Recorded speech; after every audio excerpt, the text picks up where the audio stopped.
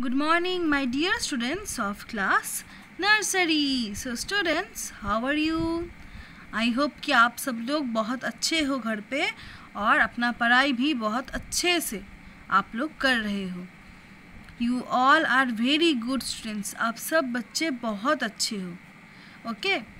तो ये आपका हिंदी होमवर्क क्लास है ओके okay, स्टूडेंट्स आप लोगों के होमवर्क कॉपी में जो होमवर्क मिला है उनमें से ये एक और होमवर्क है जो मैं आज आपको दिखा दूँगी कि आपको कैसे करना है ओके और जिन लोगों के पास ये होमवर्क नहीं है, वो कोई बात नहीं, अपनी हिंदी कॉपी में, हिंदी होमवर्क कॉपी में आप ऐसे ही जैसे मैं आपको दिखाती हूँ, वैसे आपको करना है। ऐसे अपना होमवर्क क्लास कंप्लीट करना है, ठीक है? तो चलो आज का होमवर्क क्लास स्टार्ट करते हैं। And today's date is twelfth of September two thousand twenty, okay? तो आज हमारे होमवर्क में है ये। अब बताओ ये क्या है? ये कौन सा स्वर है? कौन सा अक्षर है?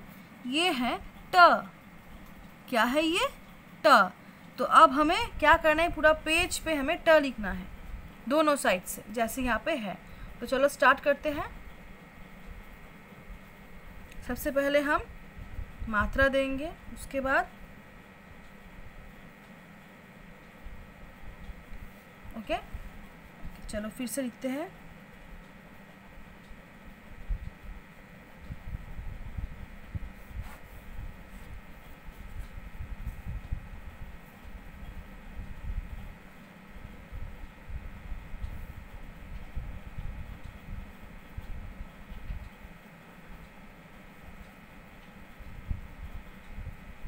ठीक है? तो ऐसे आपको अपना हिंदी होमवर्क आज का करना है। ओके? सो आई होप कि आप लोगों को ये आएगा, बहुत अच्छे से आएगा, है ना?